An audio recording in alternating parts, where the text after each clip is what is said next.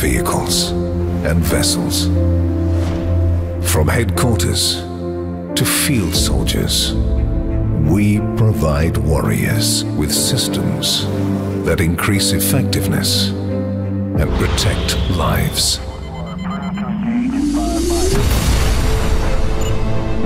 Focus on research and development.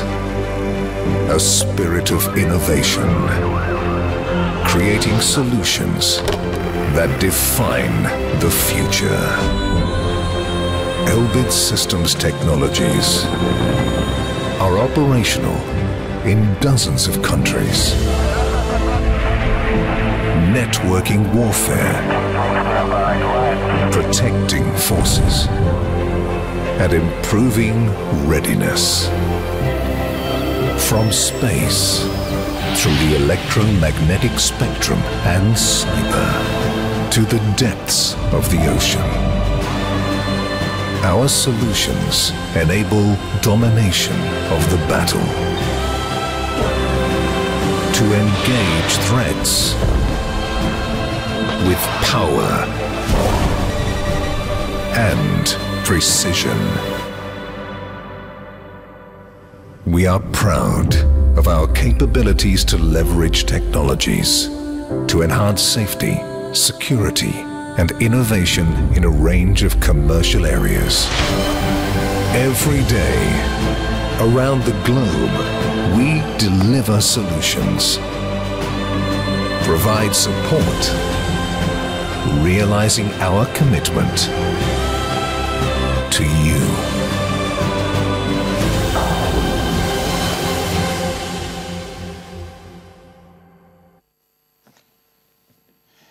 שלום, ברוכים הבאים. אה, זה לא בסקריפט, אבל זה באמת מרגש שהצלחנו, מי שלא יודע, עד שעה תשע בערב לא ידענו אם נוכל לקיים את האירוע. אז אה, ברוכים הבאים ואני שמח שכולם הגיעו וגם שמח לאנשים שנמצאים פה אה, על, בווידאו. הכנס משקיעים שלנו שאנחנו מארחים בו בבורסה בתל אביב. כנס משודר בשידור חי בעברית עם תרגום סימולטני לאנגלית. Hello and welcome to Elbit Systems 2023 Investor Conference at the Tel Aviv Stock Exchange. Management will present in Hebrew with a simultaneous translation to English. Institutional investors and analysts that would like to ask a question during the Q&A session, please email elbitsystems at ekgir.com and the moderator will present your questions to management. A recording of the event will be available shortly after the conference.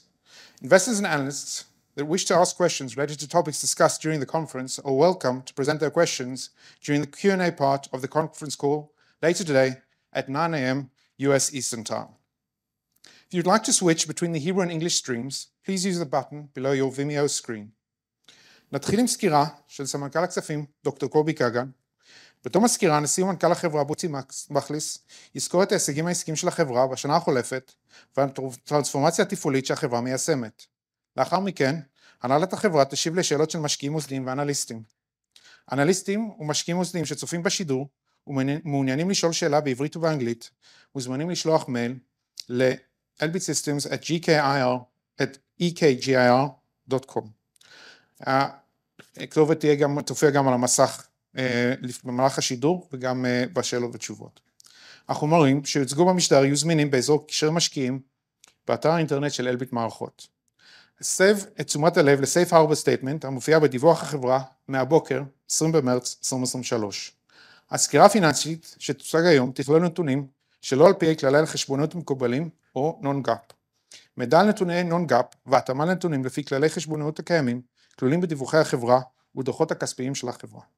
למידע מפורט הפנה את תשומת לבכם לדוחות הכספיים של החברה שפורסמו ב-7 באפריל 2022 במסגרת הדוח השנתי ה-20F. במידה ויש חוסר התאמה בין האמור כאן ובין האמור בדיווחיה של החברה, יגבר האמור בדיווחים. במידה ויש חוסר התאמה בין דברי ההנהלה בעברית לתרגום הסימולטני לאנגלית, דברי ההנהלה בעברית הם עקובים מבחינה משפטית. נעבור מיד לסקירה של קובי. קובי, בבקשה. בוקר טוב לכולם. תודה רבה רמי.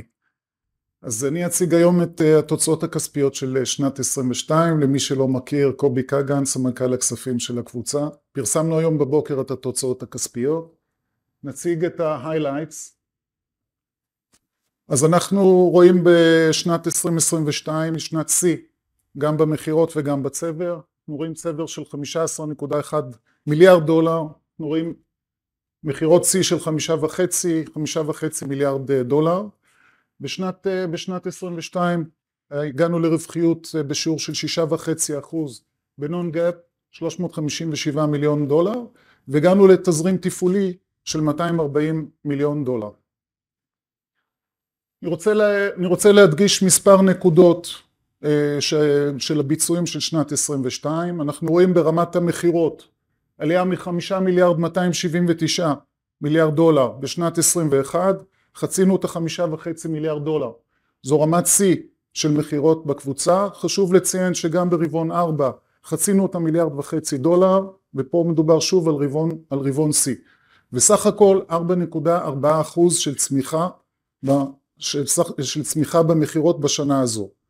ברמת הצבר חצינו את החמישה עשר מיליארד דולר בצבר, מדובר פה על צמיחה של 11 אחוז ביחס לשנת 2021 ופה אנחנו רואים את התוצאות של האסטרטגיה רבת השנים של הקבוצה גם בנוכחות מקומית במדינות זרות, גם בפורטפוליו מגוון מאוד של מוצרים וגם ביכולת שלנו לספק פתרונות מערכתיים ללקוחות שלנו.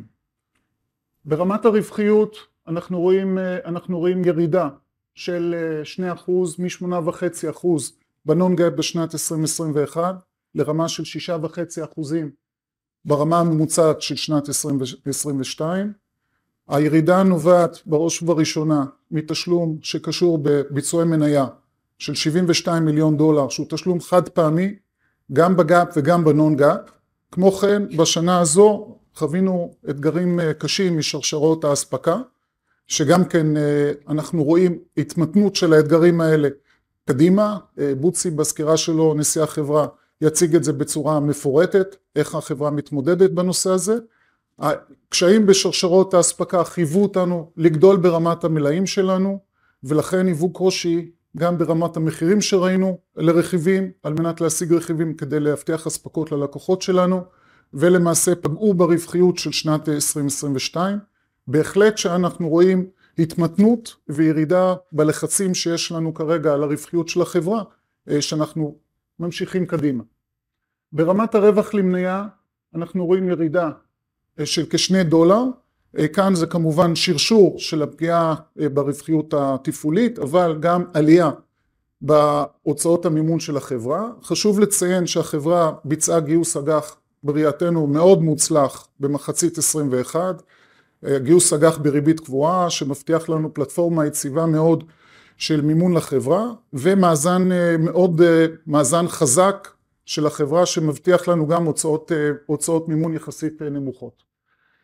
גם ברמת הקש התפעולי אנחנו רואים ביצועים חזקים של 240 מיליון דולר בשנת, בשנת 22, אמנם ירידה ביחס לשנת 21 אבל חשוב לזכור שבשנה הזו הייתה לנו הוצאה חד פעמית בגין הרווחים הכלואים 76 מיליון דולר וכן הוצאה חד פעמית בנושא של המענקים צמודי מחיר מניה. אני לא אתעכב על, ה... לא על רבעון ארבע, אני רוצה רק להדגיש שוב, חצינו את המיליארד וחצי דולר מכירות, מדובר פה מיליארד וחצי דולר מכירות, רמת שיא של מכירות ever, כמו כן אנחנו רואים שיפור ברווחיות שברבעון ארבע ביחס לרבעונים הקודמים וכן אנחנו רואים רמת cash flow מצוינת ברבעון הבדיד וכמובן המשך הגידול של הצבר. ברמת, ה... ברמת האזורים, ברמת ה-areas of operations, אזורי הפעילות שלנו, אנחנו רואים בעיקר צמיחה ב-C4ISR, מדובר בצמיחה בעיקר בתחום של מל"טים וחימושים מדויקים וכן אנחנו רואים יציבות באזורים, באזורים האחרים של הפעילות, אנחנו גם מציינים שאנחנו, הפריסה הגיאוגרפית שלנו מאפשרת לנו ליהנות מביקושי שיא שיש כרגע למוצרים שלנו. ואם אנחנו מסתכלים על areas of operations אנחנו רואים את העלייה באירופה, עלייה משמעותית מאוד של כ-400 מיליון דולר במכירות לאירופה שכמובן נובעות גם מהקונפליקט, מהמלחמה בין רוסיה לאוקראינה, נובעות מביקושים גדולים מאוד לפתרונות של מל"טים, לשוב ולחימושים מדויקים וכמובן לפתרונות יבשתיים. אירופה מצטיידת מוצרי יבשה ואנחנו רואים את הביקושים האלה. החברה אה, נוהגת זה שנים להחזיר חלק מהרווח הנקי שלה לבעלי המניות שלנו, אנחנו גאים בזה, זו פעילות שאנחנו עושים אה, שנים רבות, חילקנו למעלה מ-700 מיליון דולר בשנים המתוארות בעשר שנים הללו ובשנת 2022 חילקנו חצי דולר למניה לרבעון וסך הכל שני, שני דולר בסך הכל. תודה רבה, מתכבד להזמין את בוצי נשיא החברה לסקירה. תודה קובי, שומעים אותי? שמח להיות פה ואני מודה לכולכם שבאתם. מה שאני אנסה בדקות הקרובות לספר לכם זה על הטרנספורמציה ועל השינוי האסטרטגי שהחברה, שהחברה עוברת.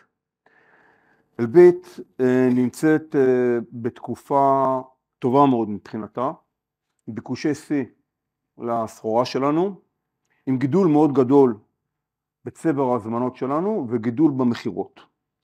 אבל, ואני אראה את הפרטים יותר מאוחר, צבר המכירות של החברה מ-2018 ועד היום הכפיל את עצמו. היינו בערך 7.5 מיליארד דולר בצבר, אנחנו יושבים עכשיו על 15, למעלה מ-15 מיליארד דולר. המכירות שלנו היו בערך 3.5 מיליארד דולר, והם גדלו ב-2 מיליארד דולר, והם עכשיו נמצאים על 5.5 מיליארד דולר. זאת אומרת שנפתח פער של 5 מיליארד דולר בין צבר ההזמנות, בגידול בצבר ההזמנות של החברה למכירות של החברה. והפער הזה מדגיש ומסביר את הפוטנציאל ואת השינוי שהחברה עוברת. הפער, וזה עוד לפני שמדברים קדימה, קדימה פוטנציאל ההזמנות שלנו שאני רואה אותו בעין מאוד גדול. ואנחנו הבנו לפני שנתיים שהחברה לא נמצאת בגידול ליניארי, החברה נמצאת בטרנספורמציה. והטרנספורמציה הזאת היא מחייבת אותנו לשנות את דרך ההתנהלות שלנו בכל הפרמטרים, הם בפרמטרים התפעוליים, הם בפרמטרים של R&D, הם בפרמטרים של כוח האדם, כדי להביא את החברה למשך מספר שנים להיות חברה של שישה וחצי, שבעה מיליארד דולר מכירות עם רווחיות תפעולית של מעבר לעשרה אחוז. זה מה שאני אנסה להסביר לכם היום, זה מה שאני אראה לכם. למה הסביבה העסקית תומכת בזה מצד אחד, ולמה הטרנספורמציה, שח... ויסביר לכם את הטרנספורמציה שהחברה עוברת בטווח הקצר, כדי לאפשר ולהגיע לאותם ההישגים בטווח הבינוני והארוך. הטרנספורמציה הזאת יש לה מחירים. היא גוררת השקעה גדולה, היא גוררת גידול בהשקעה קפיטלית, היא גוררת השקעה שחלקה יושב ב-P&L, אבל בסופו של דבר זאת השקעה בטווח הקצר שתאפשר באמת את השינוי האסטרטגי שהחברה חובה. זה מה שאני אנסה להביא לכם במשך הדקות הקרובות. נתחיל רגע בקצרה על ישראל. אני אגיד שקודם כל בישראל יש תקציב ביטחון, תקציב ביטחון מאפשר תכנון רב שנתי, יציבות, מה שלא חווינו בשנים קדימה. החברה ממוקמת בישראל, אני לא אעבור פה על כל תחומי הפעילות, אבל היא ממוקמת בכל הזרועות, בוקטורים אסטרטגיים, והמשך השותפות שלנו עם מערכת הביטחון מאפשרת לנו להביא את הפורטפוליו הטוב ביותר בעולם ומאפשרת לנו את המובילות המבצעית והטכנולוגית אה, שאלביט כל כך מיוחדת בה. זה נכון בכל המערכות, ואני לא אעבור פה על כל המוצרים ועל כל המערכות, אני אראה לכם סרט קצר שמדגיש את ההישגים שחווינו בשנה האחרונה.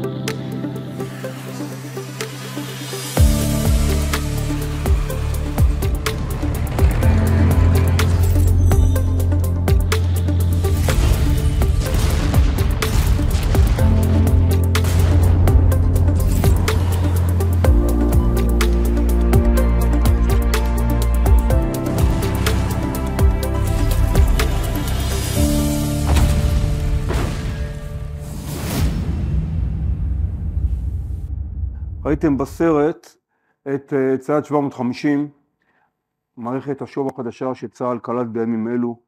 ראיתם את פרויקט ההמשך למאמנים מקושרים לחיל האוויר, שהורחב בשנה, בשנה האחרונה. ראיתם את ההגנה האקטיבית של אלביט שנכנסת לאיתן ולנמר בצה"ל. ראיתם מערכות ל"א ימיות שנפרסו, ראיתם חימושים מדויקים שאלביט מספקת לזרועות, לזרועות השונות של צה"ל, ראיתם את המל"טים החדשים של אלביט שהם חלק גדול מהמל"טים שצה"ל מפעיל ועוד ועוד, שותפות אסטרטגית עמוקה בין אלביט לבין מערכת הביטחון שהולכת ומתרחבת. אה, קיבלנו פוזיציה מאוד משמעותית בשנה האחרונה גם בתחום הלייזר רב עוצמה שהוא מוקד השקעה גדול בחברה כדי להביא למדינת ישראל פתרונות אסטרטגיים ביבשה, אנחנו חלק מהתוכנית היבשתית, הלייזר רב עוצמה היבשתי של אלביט, מרכיב הלייזר עצמו מסופק לאינטגרציה ברפאל שהיא מביאה את הפתרון השלם ביבשה ואלביט מובילה מהמסד עד הטפחות את הלייזר רב עוצמה האווירי שיביא למדינת ישראל יכולות אחרות בתחום ההגנה. ארה"ב ארה"ב גידול גדול בתקציבי ביטחון. מה שאתם רואים פה זה את uh, הגידול בתקציבי הרכש ובתקציבי המחקר ופיתוח. זה התקציבים שרלוונטיים עבורנו. הגידול הזה בתקציבים מכוון מצד אחד לאיום באסיה פסיפיק מול סין, להתמודדות מול סין, ששם עיקר ההשקעות הם בתחום הים ובתחום האוויר, וההשקעה של אלביט והרכישה של ספרטון בארצות הברית, תכליתה הייתה להביא פתרונות אסטרטגיים לתחום הים, וכל זה ממשיך בפוזיציות האוויריות המצוינות שיש לאלביט כמעט הכל על פלטפורמות האוויריות האמריקאיות, הן באופן ישיר והן דרך אה, ה-OEMים האמריקאים הרלוונטיים, אם זה לוקיד מרטין ואם זה בוינק. במקביל להשקעה באוויר ובים, שעיקרה היא בעיקר מול אסיה פסיפיק, יש השלמת מלאים וגידול בפעילות היבשתית, בעיקר כדי להתמודד, לעזור באירופה עם המלחמה באוקראינה, ובעיקר באמת כתוצאה מהחזית האירופאית מול רוסיה. יש לנו בארצות הברית כ-4,000 עובדים, חלק גדול מהם מהנדסים. אנחנו מעמיקים את הנוכחות המקומית שלנו בשוק האמריקאי. יש לנו בארצות הברית אנחנו מוכרים בארצות הברית כמיליארד וחצי דולר ואנחנו יושבים בארצות הברית ב-13 מדינות ואנחנו חלק מה ecosystem האמריקאי. אנחנו לא מייצאים מישראל לארצות הברית. הפעילות שלנו בארצות הברית היא לוקאלית, היא דרך החברה המקומית שלנו בארצות הברית ואנחנו חלק מה establishment האמריקאי ואנחנו חברה trusted בשוק הזה. שהוא השוק הגדול בעולם. יש פה חלק מהפוזיציות שיש לנו בשוק האמריקאי. אנחנו יושבים, כפי שאמרתי, על כל הפלטפורמות, על רוב הפלטפורמות האוויריות האמריקאיות, אם זה F-35, ואם זה F-18, ואם זה F-15, ואם זה מטוס האימון העתידי שנמצא כרגע בפיתוח, שזכינו בו ביחד עם בואינג ל Air Force האמריקאי. אנחנו מספקים חימושים ראשי ביות אמריקאים, Laser JDAM, אנחנו מספקים sonobuoys, אנחנו מספקים sonobuoys ל Navy, אנחנו מספקים קרונות למערכות שליטה ובקרה ל Army האמריקאי ועוד ועוד ועוד, חלק באופן ישיר לזרועות האמריקאיות וחלק פעילות שיש לנו דרך ה-OEMים הגדולים האמריקאים, אם זה GD, אם זה BAE, אם זה בואינג, ובכל פעם שנמכר F-35 או F-15 או F-16 או F-18 או V-22 או אפאצ'י בעולם, באופן אוטומטי, Elbit System of America מקבל את הזמנה, זה עוצמה אדירה. זה עוצמה אדירה שמשרת אותנו שנים קדימה. אני מזכיר שהעסק הזה בכלל לא יושב ב backlog שלנו. ה backlog בארצות הברית, ההזמנות בארצות הברית הן הזמנות שנתיות. הן הזמנות שנתיות ולא הזמנות אה, כמו שמקובל במדינות אחרות, הן הזמנות רב שנתיות, ומה שרשום בצבר ההזמנות שלנו זה אך ורק ההזמנות השנתיות שאותן אנחנו מקבלים. אני גאה לומר שבתחום הימי פורסם שהנייבי האמריקאי הולך להוציא 5.1 מיליארד דולר, IDIQ, זה פרויקט רב שנתי לשלוש תעשיות, ללוקיד מרטין, לאולטרה ולנו, ולא רואים את זה בצבע שלנו בכלל, כפי שציינתי, וזה להראות כמה הפעילות שלנו מול התחום הימי האמריקאי היא בלב העיסוק.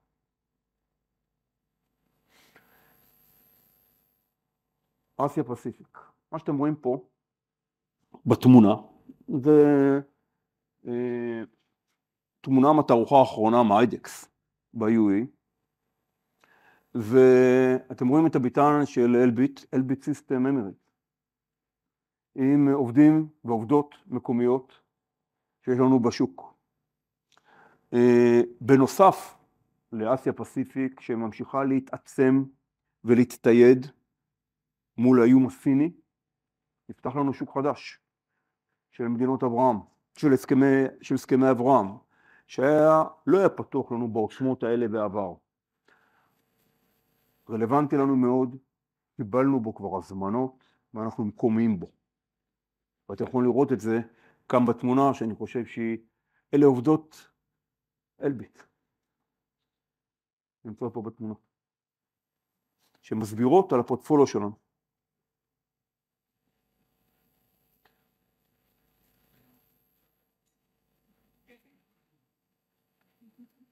אירופה, גידול בתקציבי ביטחון מאוד משמעותי כתוצאה מהמלחמה, מהמלחמה ברוסיה, המלחמה בין רוסיה לאוקראינה.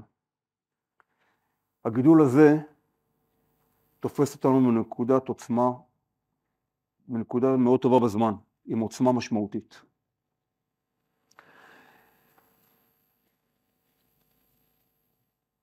אנחנו לוקאלים באירופה, בשוודיה, בגרמניה, באנגליה, באיטליה, צרפת, כל המדינות שצבועות פה בצהוב, הן מדינות שיש לאלביט חברות בונות בו. הלקחים, גם של הקורונה, אבל גם של המלחמה בין רוסיה לאוקראינה, שמדינות רוצות להיות יותר עצמאיות, מגדילות תקציבי ביטחון מצד אחד, ומצד שני רוצות להיות יותר עצמאיות. לא רק זה שאנחנו לוקאלים, אנחנו שותפים עם ה ecosystem האירופאי.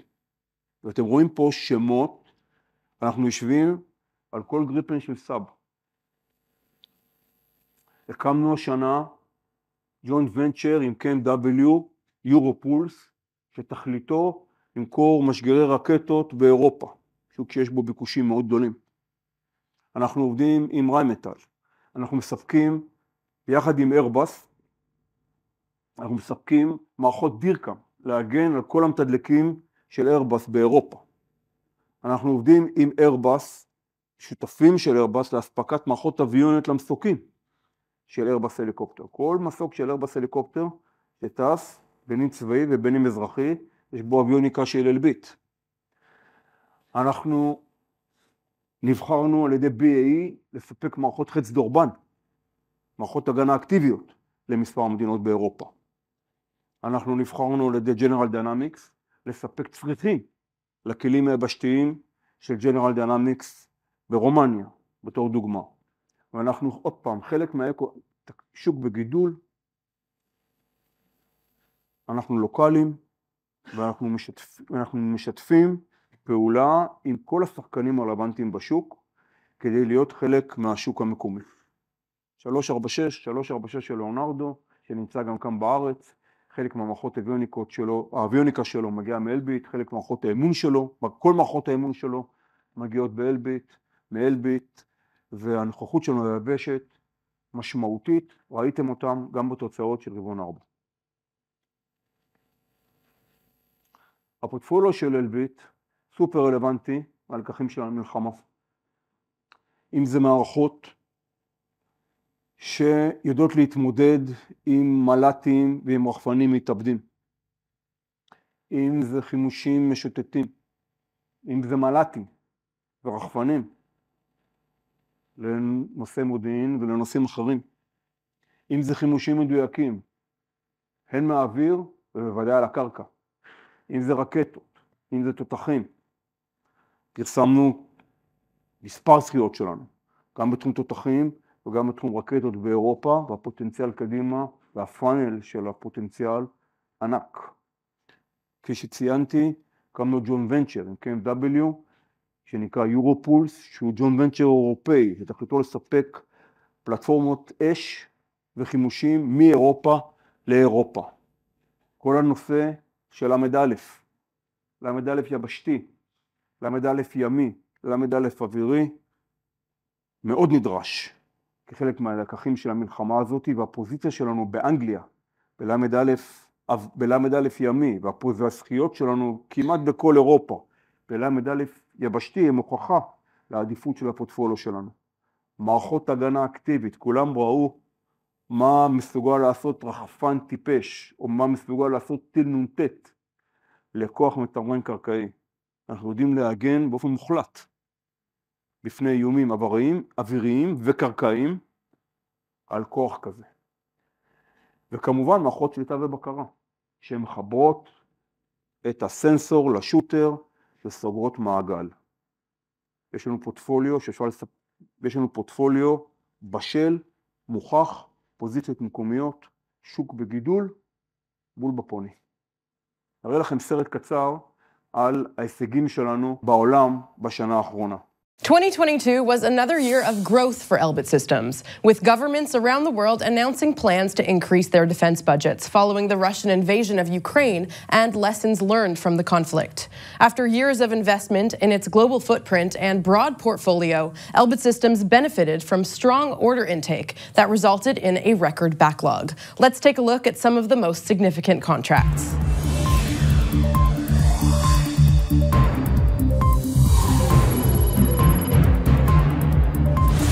Thai Royal Navy ordered the maritime version of our Hermes 900 UAV in a $120 million deal. These UAVs will support long range maritime surveillance as well as search and rescue missions.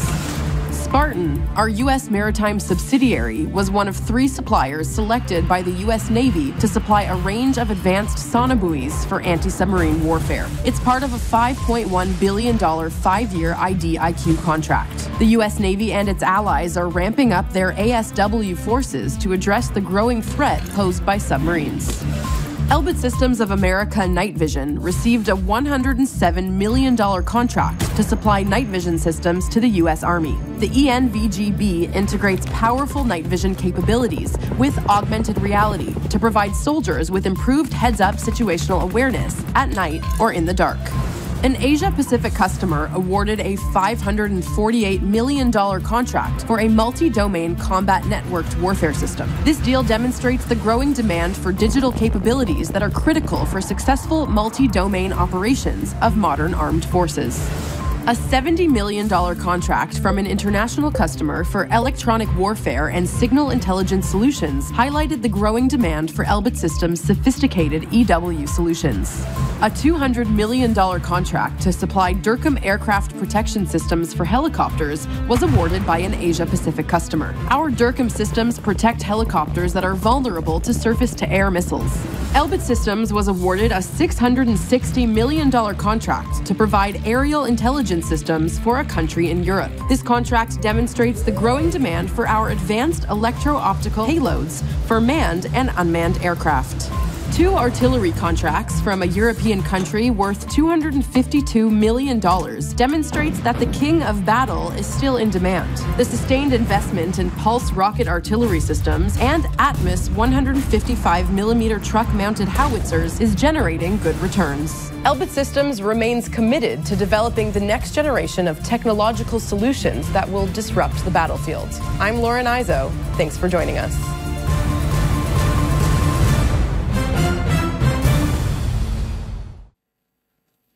שוק בגידול, פורטפוליו סופר רלוונטי, פוזיציות לוקאליות. מפה נדבר על הטרנספורמציה שהחברה עוברת. זה שקף מפתח, חשוב לי מאוד שתבינו אותו. זה מה שניסיתי להסביר קודם. מ-7.5 מיליארד דולר הצעות מכירות, הכחול צבר.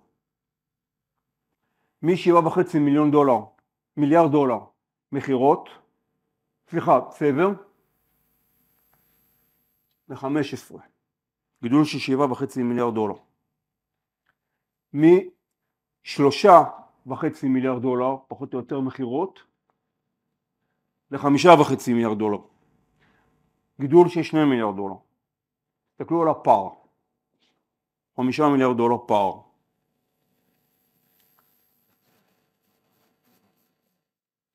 הסבל שלנו ימשיך לגדול. יש פה את השנים, חמש שנים. הפער ימשיך לגדול. הצבר ימשיך לגדול. אני רואה מה קורה לנו. אני רואה את ההזדמנויות, אני רואה את הפאנל של ההזמנות. אנחנו נמצאים בתקופה של ביקושי שיא. הבנו כבר לפני שנתיים, בתהליך סדור, שזה הולך לקרות. והבנו שאנחנו צריכים לשנות משהו מהותי בדרך התנהלות שלנו כדי להתמודד עם הביקושים המאוד גדולים ועם הרלוונטיות של האסטרטגיה ושל הפורטפוליו. והיעד שלנו, כפי שציינתי, להגיע תוך מספר שנים לשישה וחצי עד שבעה מיליארד דולר מכירות עם רווחיות של למעלה מעשרה אחוז. ועשינו מהלכים אסטרטגיים כדי לתמוך את הטרנספורמציה הזאת. השקעה בטווח הקצר שתכליתה להביא להישגים בטווח הבינוני והארוך.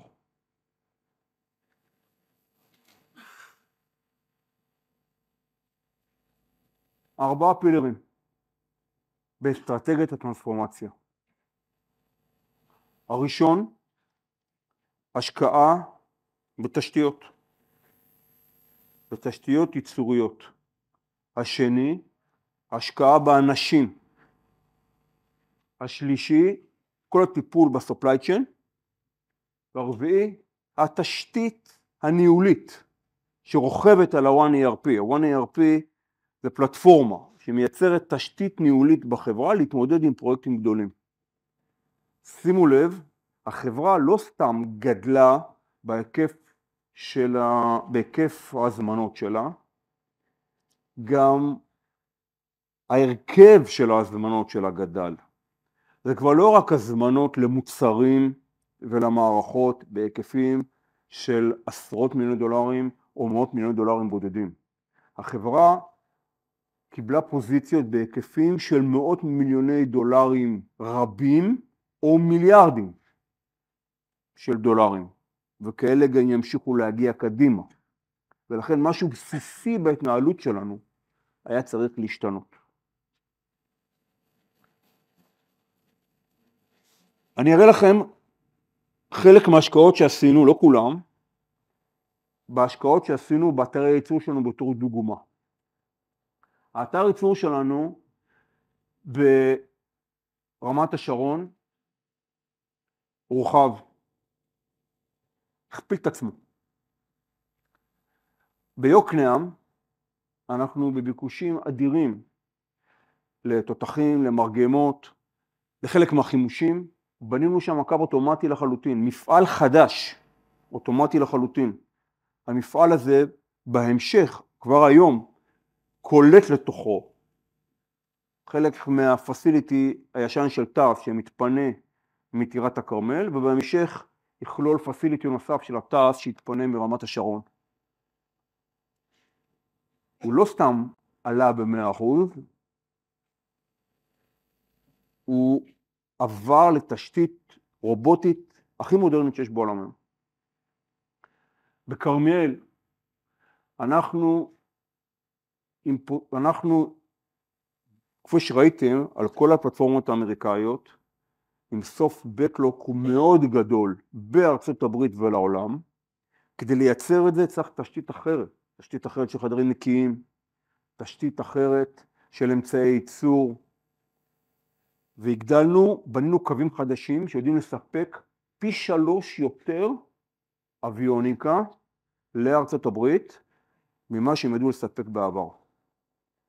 למשל, שגים של F-35, בתור דוגמה. בתל חי, גידלנו ב-60 אחוז, בתל חי אנחנו מייצרים מכשירי רדיו. קו הייצור המרכזי שלנו מכשירי רדיו לעולם.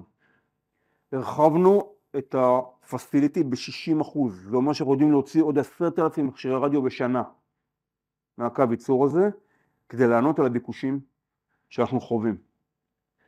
ברחובות הגדלנו את התשתית ב-40% של חדרים נקיים ושל facilities ללייזר, כדי לספק דירקמים, מגן רקיע להגן על המטוסים בעולם, לספק מטענים אלקטרואופטיים. בכל המפעלים שלנו עברנו, הכנסנו קובוטים ורובוטים ותשתית לניהול פלטפורמות הייצור, תשתית אוטומטית לניהול פלטפורמות הייצור שלנו, כדי להעלות את הפרודוקטיביות שלנו. חוץ מזה בנינו שישה מפעלים חדשים. בנינו בארצות הברית, בסאוס קרוליינה, מפעל חדש לאספקת מערכות יבשתיות ומערכות תקשוב בארצות הברית. המפעל הזה יחנך בחודשים הקרובים. פתחנו ובנינו, בנינו ופתחנו, פסיליטי חדש בבריסטול באנגליה. ותכליתו לפתח ולספק מערכות ל"א ימיות לצי הבריטי ול Five Eyes, לכל מדינות Five Eyes מאנגליה ולפתח ולספק מאמנים שזכינו בהם באנגליה לכל הזרועות. בנינו מפעל ייצור רדיו חדש בגרמניה שיספק את מערכות הרדיו שזכינו בהם בכל אירופה, בשוודיה, בשוויץ, בהולנד, בגרמניה ובספרד ובהונגריה. בנינו, אנחנו באמצע 50 אלף מטר מרובע מפעלי ייצור ברמת בקע. המפעלים האלה יתחילו לעבוד בשנה הבאה, בחצי השני של שנה הבאה, ויגיעו לקפסיטי מלא ב-25. תשתית רובוטית מתקדמת, חדשה, שתאפשר לנו לענות על כל הביקושים בחימושים מדויקים שאנחנו קרובים בעולם. בישראל אנחנו נכנסים בתחילת שנה הבאה למפעל מל"טים חדש שאנחנו מקימים במודיעין.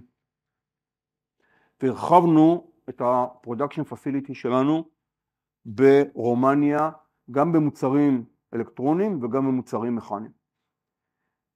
כל זה נועד כדי להעלות את הפרודקטיביות שלנו וכדי לאפשר לנו להגדיל משמעותית את המכירות שלנו בהלימה לצבר ההזמנות שאותו קיבלנו עד עכשיו ושנמשיך לקבל קדימה. השקענו בדבר הזה בערך 200 מיליון דולר במצטבר. שני שליש מתוך זה נמצא בהוצאה הקפיטלית שלנו. אתם יכולים לראות שההוצאה הקפיטלית שלנו גדלה. היא תרד בהמשך, אחרי שנסיים את ה... היא כבר יורדת ב-23, היא תמשיך לרדת גם הלאה. שליש מתוך ההשקעה הזאת יושב ב-P&L שלנו. כהשקעה לטווח ארוך.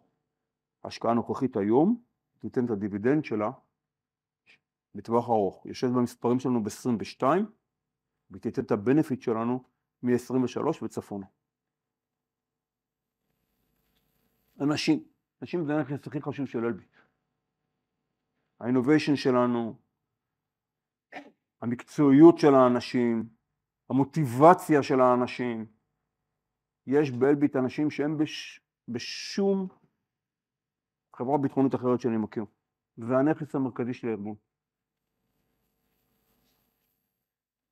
המשכנו לגדול באנשים. גדלנו בחמישה אחוז באנשים. כדי להתמודד עם אתגרי השוק שהיו בשנה האחרונה, נתנו בשמחה ובאהבה אופציות לאנשים. שעלו לנו, ב-70, עלו לנו 72 מיליון דולר ב-P&L שלנו ב-22. אנחנו לא צפים הוצאה כזאת ב-23 וצפון, כדי שאנשים יהיו חלק מהצלחת החברה. והמחויבות של האנשים לחברה תמשיך קדימה גם בראייה לטווח ארוך. אנחנו ממשיכים לגדול באנשים גם ב-23, בארץ ולא רק בארץ, גם בעולם, והסביבה השתנתה, הרבה מאוד אנשים היום באים אלינו ומציעים את יכולותיהם להלביט מערכות, גם בארץ וגם בחו"ל, ואנחנו נמשיך להשקיע באנשים שלנו. אבל האמירה מעבר לזה היא שלא סתם גדלנו באנשים, גדלנו באנשים וגדלנו באותה נשימה גם במכירות לעובד. אומרת שהפרודוקטיביות שלנו כחברה גדלה. ב-22, כפי שקובי ציין, הייתה לנו השקעה חד פעמית של 72 מיליון דולר בשימור הטאלנט הטכנולוגי והניהולי באלביט מערכות, ואני שמח וגאה שעשיתי איתו.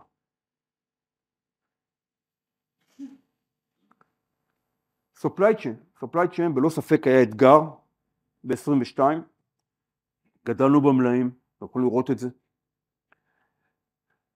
העסק הזה מתחיל להתייצב, מתמתן, האירועים של supply chain וכל מה שקשור לשינוע מאחורינו, וכל מה שקשור למתכות מאחורינו, באלקטרוניקה יש עדיין אירוע, הוא מתייצב, ואני חושב שבחצי השני של 23 אנחנו, רובו כבר יהיה מאחורינו, לא כולו, רובו כבר יהיה מאחורינו. אנחנו רואים גם את השוק הזה נרגע. אנחנו, כדי להתמודד עם האתגרים המאוד גדולים שהיו לנו ב-22 ב-supply chain, אנחנו, כפי שציינתי, פיתחנו תחליפים, גדלנו במלאים, וגם בחלק מהמקרים שילמנו יותר כסף, כדי שפגע לנו ברווח, כדי לספק את הסחורה ללקוחות שלנו. האירוע הזה, להבנתי, בשלבי התמתנות והתייצבות, ולהערכתי ב-23 רובו הגדול יהיה מאחורינו.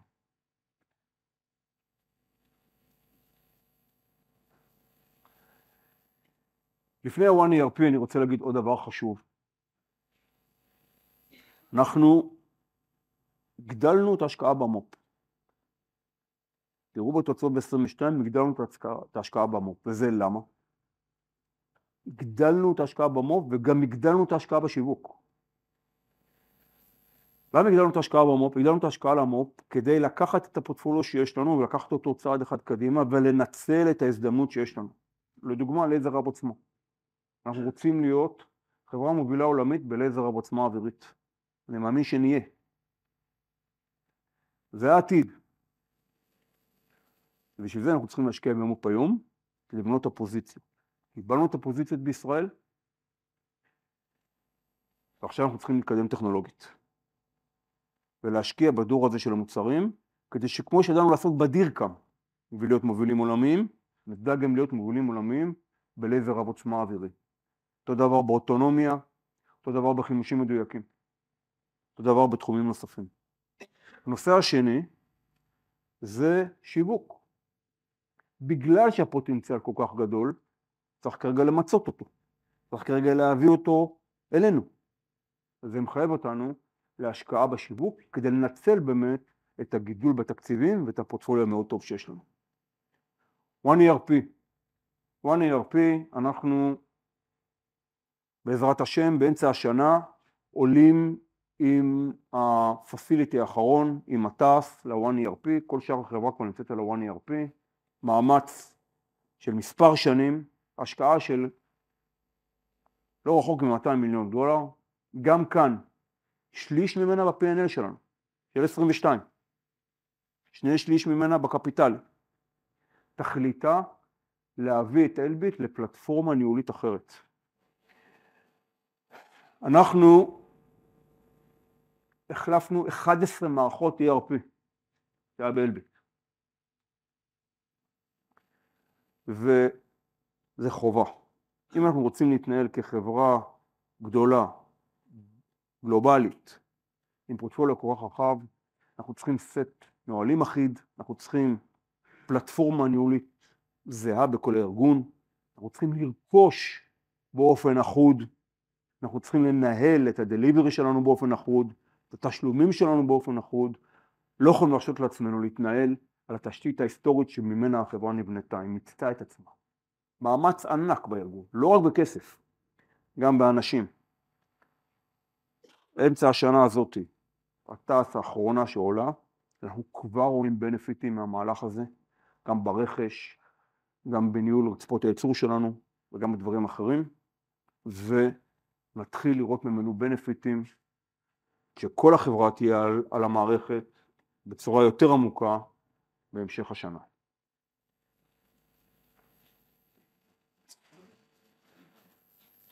אני חוזר על המסר שניסיתי להגיד קודם, חברה עוברת טרנספורמציה.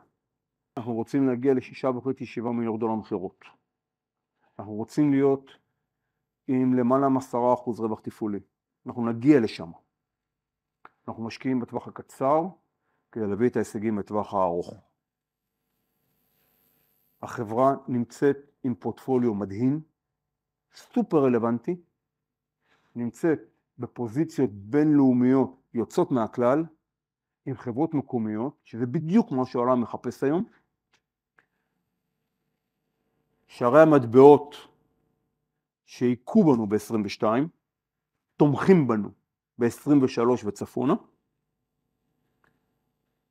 ואני מאמין שאנחנו נגיע ליעדים שאנחנו רוצים דרך המימוש של האסטרטגיה שאותה הצגתי לכם קודם. קודם כל זו חברה מדהימה, ויש לי את הזכות באמת אה, לנהל אותה, ואני חושב שאנחנו נמצאים בתקופה מאוד טובה.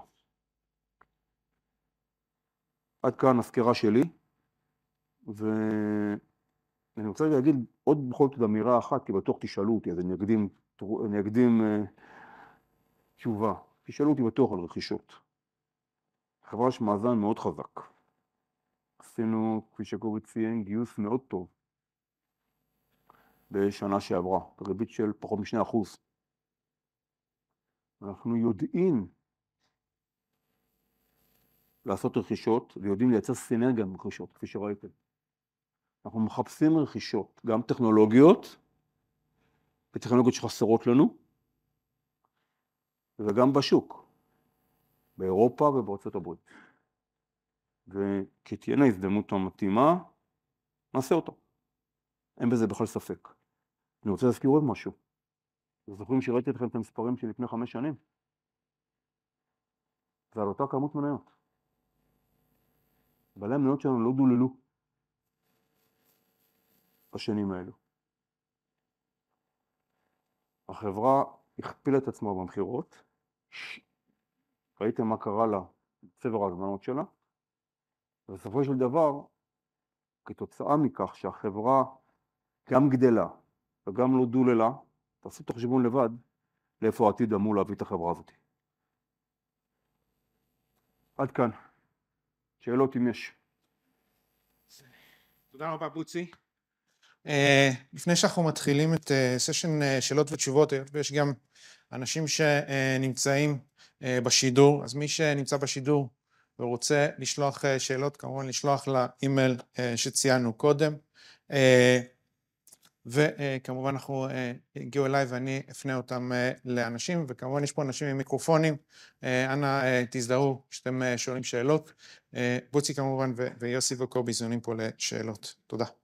ציינת שאתם מתעתדים להגיע לרווחיות של עשרה אחוז תוך כמה שנים כיום אתם בערך על חמישה אחוז רווחיות ברווח הנקי על איזה רווחיות אתה מדבר תפעולית?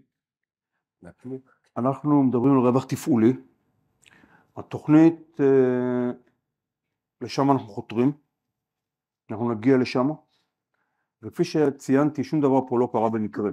יש פה תוכנית אסטרטגית, היה להם מחיר בטווח הקצר. אתם תראו גידול ברווחיות שלנו רבעון אחרי רבעון, באופן הדרגתי, עד שנגיע ליעד שאותו ציינתי. ראיתם את זה כבר ברבעון 4, יחסית לרבעון 3, תמשיכו לראות את זה גם קדימה.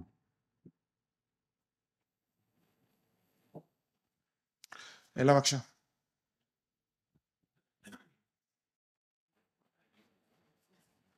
תודה. אז קודם כל אה, באמת אה, היה מאוד מרשים ומעניין לשמוע את אה, כל ההתפתחויות האלה שחלקן כמובן לא ידענו. אמ, יש לי כמה שאלות שנובעות מהדברים שלך ישירות. קאפקס, אמ, הקאפקס אמרת שהוא יהיה עכשיו במגמת ירידה אני קצת קשה לי כאילו כי יש לך פה גם עוד השלמה של אתרים וזה זה, זה באמת כבר מאחורינו ה peak שלו? כן, ה CapEx של החברה בעבר היה בסדר גודל של 150 מיליון דולר שנה פחות או יותר על פני השנים ב-22 אתם ראיתם 250 מיליון דולר השקעה ב CapEx, ה CapEx בצורה הדרגתית ירד מתוך כוונה להגיע פחות או יותר לאותם המספרים שהיינו בעבר החל מ-23 וצפונה.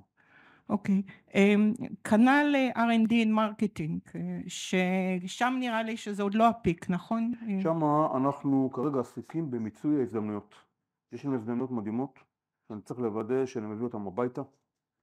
אה, גם עכשיו, כשנגמרה הקורונה, יותר קל לי להגיע לחלק מהשווקים, ממה שהיה יותר מורכב בעבר, ולכן פה אני מרכז מאמץ כדי להביא את ההזדמנויות האדירות שהחברה עומדת בפניהן לידי הזמנות ולידי מימוש.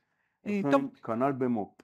במו"פ בכמה וק... יש כמה וקטורים אסטרטגיים מדהימים שיכולים להביא את החברה הזאת למחוזות מדהימים בראייה עתידית, אסור לנו לפספס אותו. ציינתי את הלייזר רב עוצמה, ציינתי את החימושים המדויקים, שזה המימוש של האסטרטגיה של הרכישה של התע"ש, ולקחת את היכולת ביות שהייתה באלביט, לקחת את החימושים שהייתה בתע"ש, שהיה בתע"ש, לחבר אותם ביחד ולייצר פורטפוליו חדש, זה בדיוק מה שקורה עכשיו. אנחנו צריכים להמשיך, להרחיב ולמצות. אה, האם זה יהיה נכון, זה אולי שאלה יותר לקובי, אה, להניח שה-R&D כדאי להניח אה, נניח עלייה של כאחוז בשנה וחצי הקרובות? אני חושב שאנחנו כרגע, החברה גדלה ולכן מעצם העובדה שהחברה גדלה האחוז מאפשר, אם שומרים על רמת האחוז, מאפשר לך להוציא יותר R&D. אז כלומר, זה פחות או יותר השיעור לא צפוי לגדול דרמטית. לא. אוקיי, עוד, עוד שתי שאלות ברשותכם, או כמעט שלוש. צבר אמריקאי, שגם הזכרת אותו, כמה, בהערכה מאוד גסה, מה שנקרא מעבר לבקלוג, כן? כי אתה בעצם ציינת שהבקלוג הוא בכל התחומים הוא רק שנה, כולל הנייבי. כמה בהערכה גסה זה אותו הצבר שאנחנו לא רואים אותו, של הצבר האמריקאי? יוסי דבר. יוסי, יוסי בוא. יוסי? יוסי, אם תוכל לעלות פה ל... כמו אמרנו לאורך שנים, הצבר הרך, מה שאנחנו קוראים, הוא בין 15 ל-20 אחוז מהמספר של הצבר הקשיח שאתם רואים כאן. בארצות הברית יותר, ביתר המדינות קצת פחות, באחוזים שאני מדבר. זאת אומרת, אם את רוצה מספרים דווקא בארצות הברית, עכשיו באיזשהו מקום אנחנו צריכים להחליט. ה-F-35, F-35 יהיו עוד אלפי מטוסים כאלה במשך 40 שנה הקרובות. אני לא לוקח בתוך הצבר הרך אפילו מה שיקרה מעבר לעשר שנים, אלוהים גדול, אבל מה שבזווית ראייה די בטוחה, זה יושב בתוך ה-20 פלוס אחוז באמריקה. אוקיי, okay, תודה. ושאלה אחרונה, קצת אה, ספציפית אולי, האתרים המתפנים אה, ברמת אה, השרון ובטירה, מבחינת העיתוי ומבחינת. יש שם פוטנציאל נדל"ני, שאומנם אתם לא סוחרי נדל"ן, אבל... אני רוצה להזכיר, ברמת השרון אנחנו מפנים את הצד המערבי, הצד, המז... הצד המערבי לכביש 4 והוא חוזר למדינה. פוטנציאל הנדל"ני לא קשור אלינו, האדמה היא אדמה של המדינה, היא לא אדמה שלנו. הצד המזרחי של כביש 4, רובו של השטח נשאר לטובתנו להרבה שנים קדימה. אה, אני שואלת לבחינת העיתוי, מתי אתה חושב שזה יהיה בר אחרי שזה יתפנה וינוקה, מתי אתה, באיזה שנה אנחנו נתחיל לראות מזה תכלס? חלק מהשטחים כבר פינינו. זה לא, זה לא הביזנס שלנו. אבל יהיה לך... לא חשבתי על זה. טוב, טוב, אני חושבת שהגיע הזמן לתת לאחרים, תודה רבה. אה, לירן מ-IBI. שתי שאלות קצרות ברשותך. אה, שערי מטבע, אז דיברת על זה שזה פגע בכם בשנה האחרונה, אה, ראינו את הפיחות בשקל בתקופה, בחודש האחרון. כמה מתוך זה הספקתם לתפוס, לגדר? האם בכלל יש לכם עניין לעשות דבר כזה?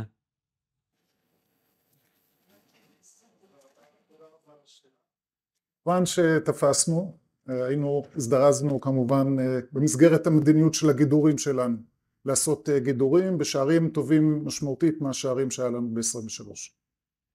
זה מצוין, איך אני מכניס את זה למודל? שאלה נוספת, וכשאמרת שאתה מצפה שישאלו אותך משהו, חשבתי שזו תהיה השאלה הזאת.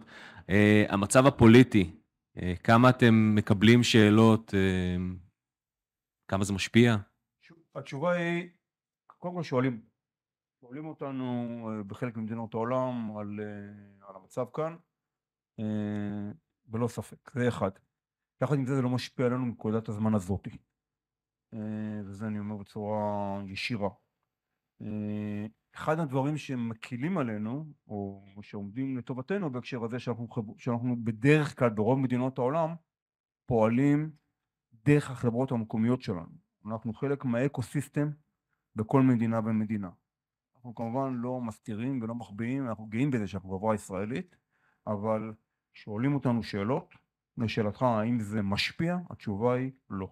כרגע לפחות לא. יש, כשאתם מתמודדים במכרזים, אה, זה משהו שעולה, אתם מרגישים שאולי מכביד טיפה על הפוזיציה שלכם? שואלים אותנו שאלות, אני לא אכחיש ששואלים אותנו שאלות, אבל בנקודת הזמן הזאת לא ראיתי השפעה. תודה. אלעד קראוס ממיטב. אני גם הייתי רוצה להתייחס לנושא של המרווח, כי באמת נראה שהשורה העליונה נראית מצוינת, הצפר גודל, ההכנסות גדלות, אבל הייתי מצפה לחברה ש... אה, שיש לה כל הזמן הכנסות עולות, אז יהיה איזה יתרון לגודל מבחינת המרווחים, ולמרות זאת יש איזושהי ירידה במרווח. אה, אז השאלה אם זה נובע אולי מהעובדה שיש הרבה יותר תחרות קשה בכל המכרז, ואתם אה, צריכים להוריד מחירים בשביל לזכות במכרזים האלה, או שהדינמיקה הייתה כמו שהייתה בעבר?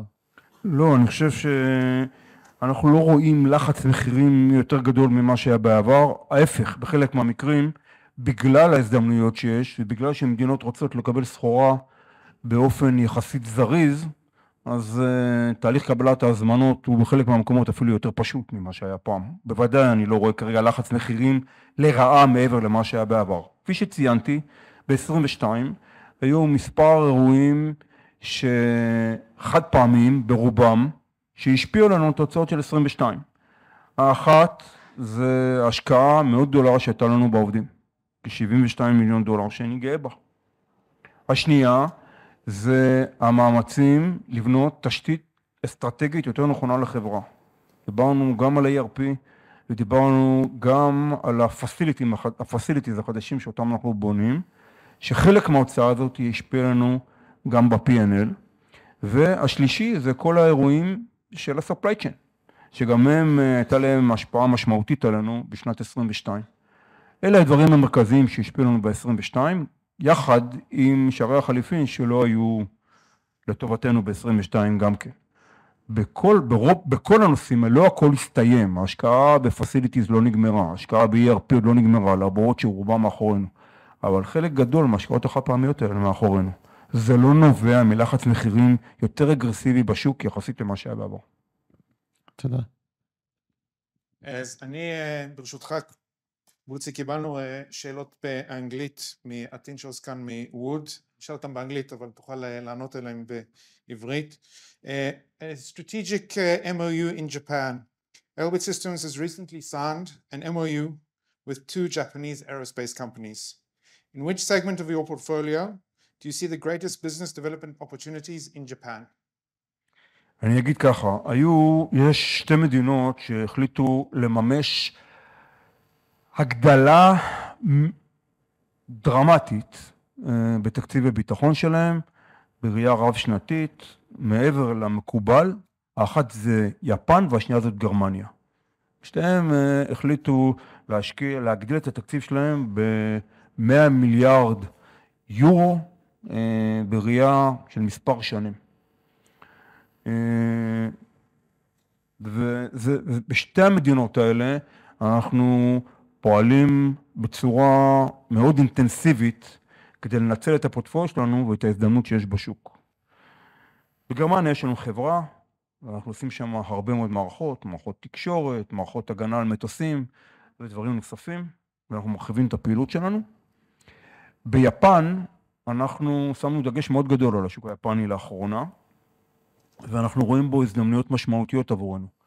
גם בתחום של מערכות אימון, גם בתחום של מערכות ל"א, גם בתחום של מערכות מל"טים ובנושאים נוספים. ולטובת זה באמת חתמנו שיתופי פעולה עם התעשיות הביטחוניות המובילות היפניות, כפי שציינת בשאלה, כדי באמת להביא את, הפוט... את הפוטנציאל שלנו לידי מימוש. השתתפנו בתערוכה האחרונה ביפן, יש עניין מאוד גדול במוצרים שלנו, ואני שמח להגיד שיש כבר גם הצלחות. And the second question is uh, you presented a, a, your participation in ARDEX. Uh, what do you think the potential is for your business in uh, the UAE and the other Abraham Accords companies, countries? אני חושב שכמעט כל הפורטפוליו שלנו רלוונטי למדינות הסכמי אברהם, כמעט כולו, ואם זה, ואני לא אעבור על כל הפורטפוליו, אבל כמעט כל הפורטפוליו של אלביט נדרש, חלקו באופן ישיר דרך אלביט, חלקו דרך ה-OEMים, כי בכל מקום שמוכרים פלטפורמה אווירית, וזה לא משנה אם הפלטפורמה האווירית הזאת, איזה פלטפורמה אווירית מגיעה, היא מגיעה עם מערכות של אלביט, וזה עוד היה גם בעבר. הפורטפוליו של אלביט כולו, כמעט בלי יוצא מהכלל, רלוונטי למדינות הסכמי אברהם. גם באוויר, גם בים, ובוודאי ביבשה. יש פה שאלות עוד בקהל? אז עוד שתי שאלות שקיבלנו.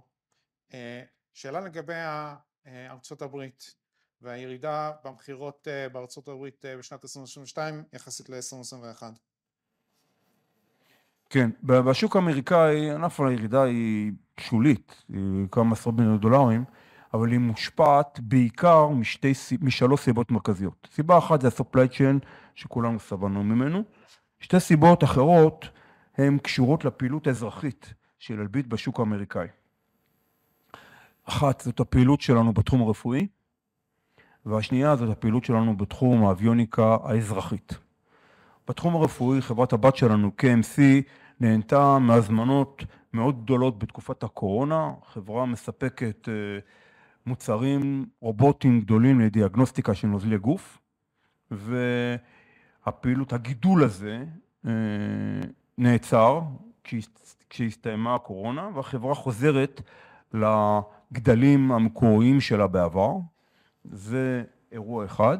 האירוע השני קשור לתחום האביוניקה האזרחית. תחום האביוניקה האזרחית, תחום של אלביט יש בו פורטפוליו מאוד משמעותי. השוק של האביוניקה האזרחית נעצר בתקופת הקורונה, כולכם יודעים את זה, זה לא סוד. לא היה עצירה של הזמנה של מטוסים מכל ספקיות המטוסים, ועכשיו זה מתהפך. 23 זה פועל לכיוון ההפוך. 23 אנחנו רואים גידול גדול בביקושים למוצרים שלנו בתחום האביוניקה האזרחית, אבל נקודתית.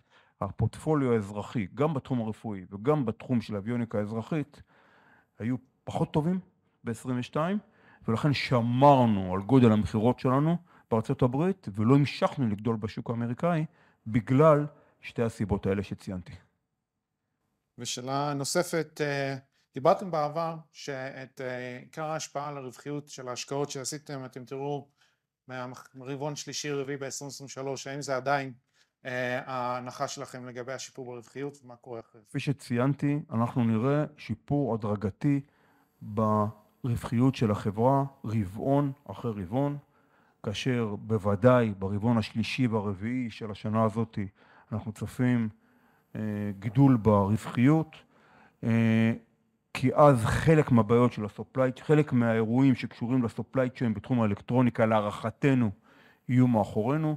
זאת התוכנית שלנו והיעד שלנו להיות חברה של $6.5-7 מיליארד מכירות עם רווחיות תפעולית של למעלה מ-10%. לזה אנחנו בונים את החברה ולטובת זה עשינו את כל ההשקעות ב-2022 ובתקופה הקרובה. שאלות נוספות? רק לגבי הרווחיות, כשאתה אומר 10% זה בהתבסס על הדולר הנוכחי, ועד כמה זה ישפיע? אנחנו בהערכות שלנו, הדולר זה חלק מהפרמטרים שיש לנו, זה לא דווקא מתבסס דווקא על הדולר הנוכחי, זה מתבסס על, על, לא מתבסס בהכרח על נקודת הפיק שבה אנחנו כרגע נמצאים, התשובה היא לא. רק בשביל לסייג את עצמי, אם הדולר כמובן אה, יגיע למחיר, לנקודות עבודה מאוד קשות, זה יקשה עלינו. אבל אה, אני, לא זאת נקודת, נקודת ההנחה היא לא קיצון כזה ולא קיצון כזה. זאת אומרת שבדולר של שנה שעברה תוכלו לעמוד ביעד. אנחנו, אנחנו מקווים שכן. אה, אוקיי, שאלות נוספות? אז באמת אה, תודה רבה לכם, אני מזכיר שכל החומרים נמצאים באתר ואם יש לכם פניות אז נשמח לענות לשאלות נוספות. תודה רבה.